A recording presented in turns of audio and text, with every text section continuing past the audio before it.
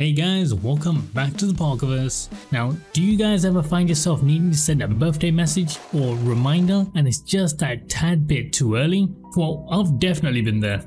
And it would be great if WhatsApp added in a built-in feature actually allowing us to schedule messages, but hey, until then, I've found you guys a neat little workaround I just had to share. So check this out. I can unlock my phone, open WhatsApp, find a contact, send a message or even an image all automatically without me interacting with the phone at all.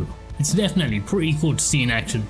But as a quick note, before we look at how to schedule your WhatsApp messages just like I did here, if any of you guys want to grab my live wallpapers, you can do so from my very own Epic Live Wallpaper app. And of course, make sure to visit the request section where you can also submit your own wallpaper requests.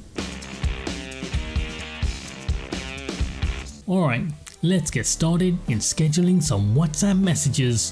For this, we're going to be using the app SKEDit, a popular app with over 1 million downloads. Now it's available for free and also as a paid subscription with some additional features. So once installed, you can either sign up or skip the sign in process altogether. It's totally up to you. After which, you'll be welcome to this screen where you can see upcoming scheduled messages, what's already been sent under done, check any deleted or failed messages. Now, to schedule a new message, just hit that plus icon at the bottom of the screens and select the type of message that you want to send. In this case, it's WhatsApp. After which, you should see this pop-up message asking you to allow a couple permissions in order for the app to work properly. Now it's important to note this app will have access to the information shown on your screens, so just keep that in mind if you have any privacy concerns.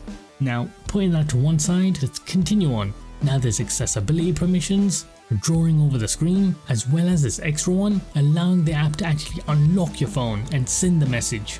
Now as a quick side note here, this is only going to work for password or PIN numbers, so if you have any pattern or fingerprint unlock only option, the app is not going to work if your phone is locked.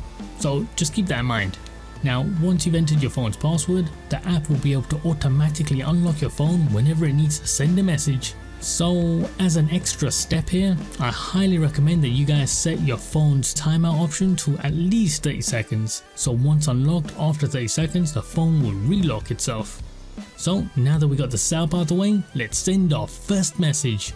Now here, it's as simple as selecting a recipient, typing your message, adding any attachments so that could be an image or a doc file, and finally select the date you want to send the message as well as the exact time you want it to go out. Now there is a couple other options here but you can skip over them. Just hit the tick button in the top right of your screens and that's it. Your first message is scheduled.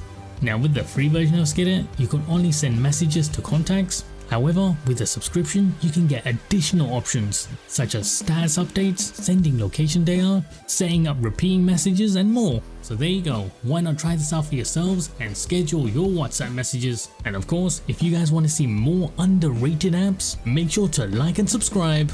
And why not check out some of my Android customization videos. See you guys next time on Into the Parkerverse.